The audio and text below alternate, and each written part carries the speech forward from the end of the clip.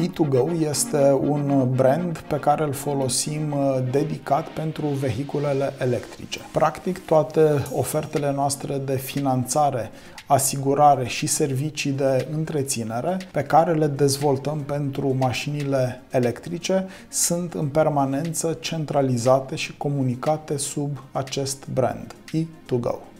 În primul rând încercăm să facem uh, o diferențiere, să le fie clienților foarte clar care dintre ofertele noastre sunt dedicate exclusiv mașinilor cu propulsie electrică. Primul rol al acestui brand este cel de diferențiare. În al doilea rând, în permanență pentru zona de vehicule electrice, încercăm să sprijinim activ creșterea vânzărilor, avem dezvoltate anumite promoții cu diverse beneficii pentru client.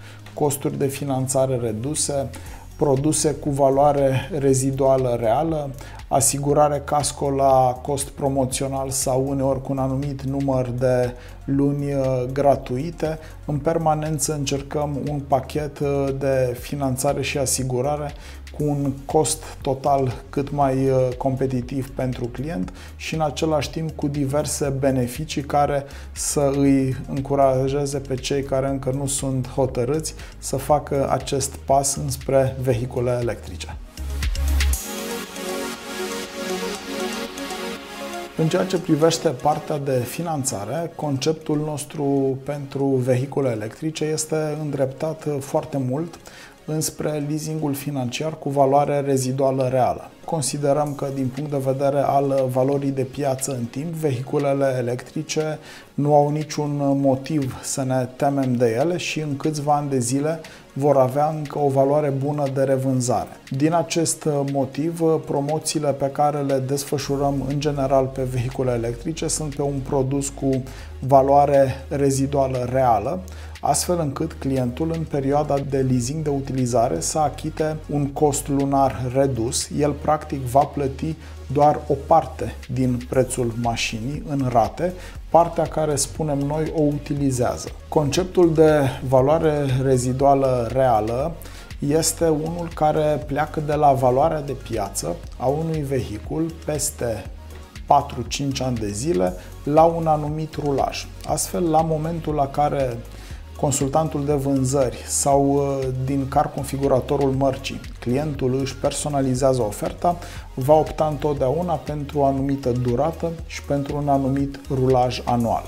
În funcție de acestea, pentru fiecare mașină se va stabili o valoare de piață viitoare sau îi spunem noi valoarea reziduală reală. Iar noi suntem pregătiți să ne luăm ceea ce înseamnă riscul de valoare reziduală pentru vehicule electrice.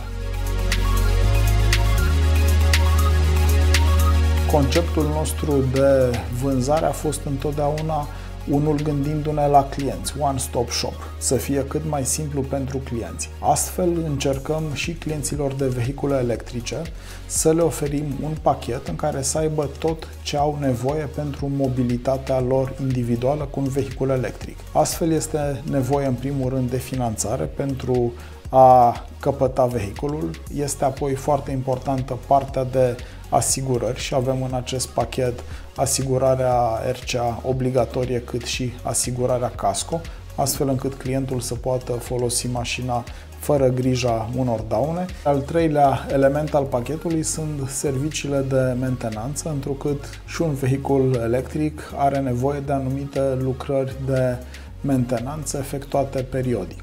Astfel, pentru a fi cât mai simplu pentru clienții noștri, preferăm să le oferim acest pachet complet de servicii finanțare, asigurări și mentenanță. Din punct de vedere al asigurărilor, în general se merge pe două direcții. Una dintre ele este frecvența daunelor și cea de-a doua este costul mediu al unei daune. În ceea ce înseamnă frecvența daunelor, ne așteptăm ca vehiculele electrice să stea probabil cu ceva mai bine decât cele cu motor termic, întrucât, în general, posesorii de vehicule electrice sunt destul de atenți la autonomia lor, astfel încât uh, ne așteptăm să aibă un comportament în trafic mai prudent. De asemenea, majoritatea dintre ele sunt foarte bine dotate și cu senzor de asistență, ce reduc sau chiar împiedică accidentele la viteze mici sau accidentele de parcare.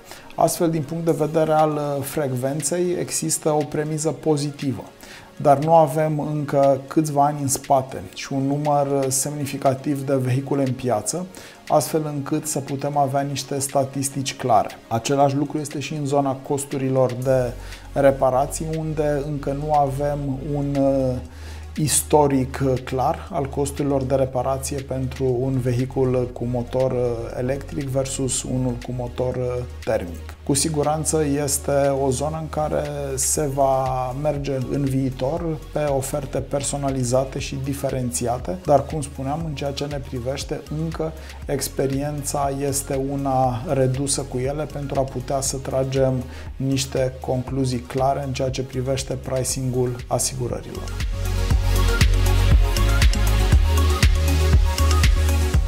Stațiile de încărcare MUN sunt la rândul lor un produs al Porsche Holding. Ele sunt importate în România de colegii noștri de la importatorul Porsche România, iar noi oferim clienților interesați de aceste produse soluții de finanțare și asigurare. Ele sunt împărțite în două categorii principale, cele pentru uz casnic și cele pentru scopuri de business destinate în general firmelor care au nevoie de o putere de încărcare mai mare și în uh, timpi mai scurți. Astfel, noi încercăm să le oferim clienților soluțiile optime de finanțare pentru ele, întrucât uh, mașina electrică are nevoie de multe ori, pe lângă achiziția și finanțarea și asigurarea vehiculului și de o soluție pentru partea de încărcare. Cu siguranță, odată cu creșterea numărului de vehicule electrice, și aici vedem creșteri importante din punct de vedere procentual de la un an la altul și vedem că ele încep să conteze tot mai mult în piața auto, va fi în creștere și nevoia de încărcare a acestor vehicule. Astfel, pe termen mediu și lung, noi considerăm că este o direcție de business care va fi pentru noi din ce în ce mai importantă și interesantă.